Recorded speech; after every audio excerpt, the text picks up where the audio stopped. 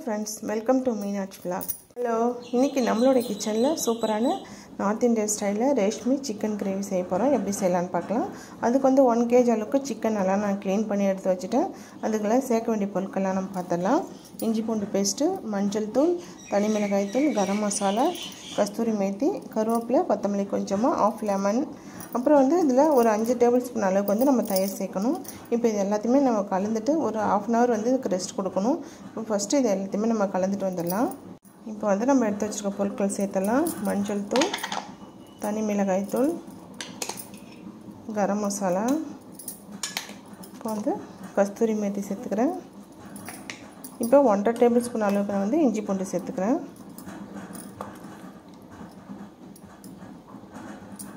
ஒரு அஞ்சு table spoon அளவுக்கு நம்ம தயிர் சேர்த்துக்கலாம் இதில்.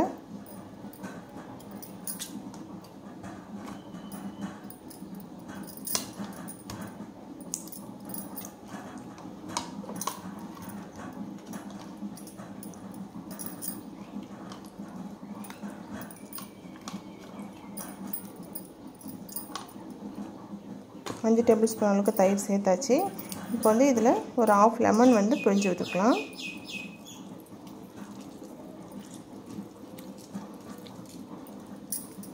இப்போ கட் பண்ணி வச்சுருக்க கொத்தமல்லி கருவேப்பிலையை சேர்த்துக்கிறேன். இதுக்கு தேவையான அளவு உப்பு சேர்த்துக்கலாம் இப்போது இதில் உப்பு சேர்க்குறேன் தேவையான அளவு. இப்போ இதை நல்லா கலந்து விட்டுறலாம்.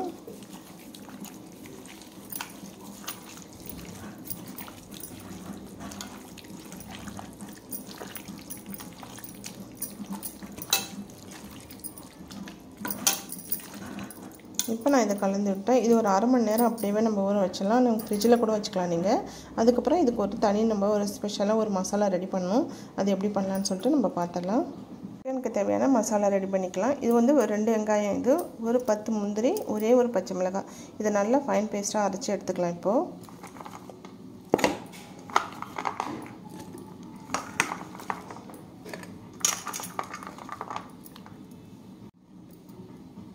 இப்போ மசாலா வந்து நல்லா ஃபைனாக அரைச்சாச்சு. இப்போ வந்து நம்ம சிக்கன் ஊற வச்சு ஆஃப் அன் ஹவர் ஆகிடுச்சு இப்போ அடுப்பில் தவா வச்சுக்கலாம். அடுப்பில் ஒரு பாத்திரம் வச்சாச்சு. இல்லை மூணு டேபிள் ஸ்பூன் அளவுக்கு நான் நல்லெண்ணெய் சேர்த்துக்கிறேன்.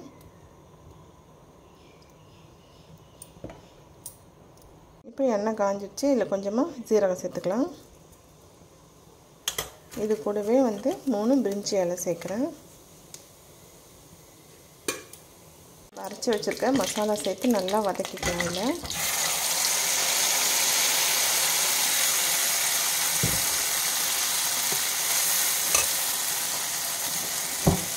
இது வந்து பச்சை வாசனை போகிற அளவுக்கு நல்லா வதங்கணும். அந்த அளவுக்கு நம்ம வதக்கிக்கலாம்.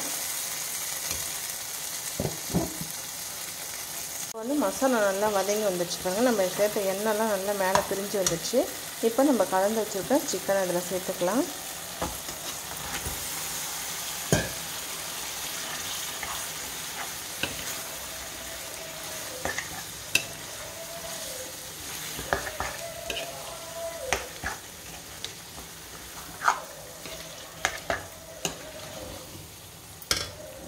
இதில் வந்து நம்ம எதுவுமே தண்ணிலாம் எதுவுமே சேர்க்க தேவையில்லை. ஏன்னா தயிர் சேர்த்துருக்கோம். அதோட சிக்கன்லேருந்து தண்ணி விட ஆரம்பிச்சிடும் அதையும் வந்து சிக்கன் குக் ஆகிறதுக்கு போதுமானதாக இருக்கும். அதனால் தண்ணி எதுவுமே சேர்க்க தேவையில்லை.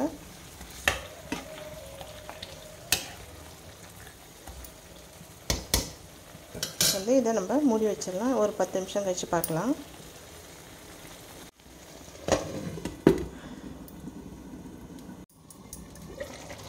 வந்திருக்கு பாருங்கள் நம்ம சிக்கனில் தண்ணியே சேர்க்கல. ஆனால் எவ்வளோ தண்ணி வந்துட்டு பாருங்கள்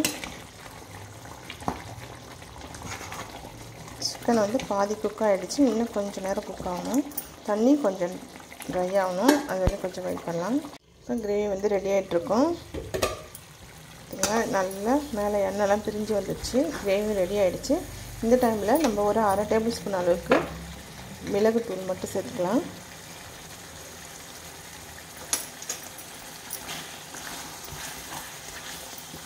கிரேவி ரெடி ஆகிடுச்சு அடுப்பு ஆஃப் பண்ணிக்கலாம். நார்த் இந்தியன் ஸ்டைலில் ரெஷ்மா சிக்கன் கிரேவி ரெடி ஆகிடுச்சு ரொம்ப சூப்பராக வந்திருக்கு. இது மேலே கொஞ்சமாக வந்து ஸ்ப்ரிங் ஆனியன் சேர்த்துக்கலாம்.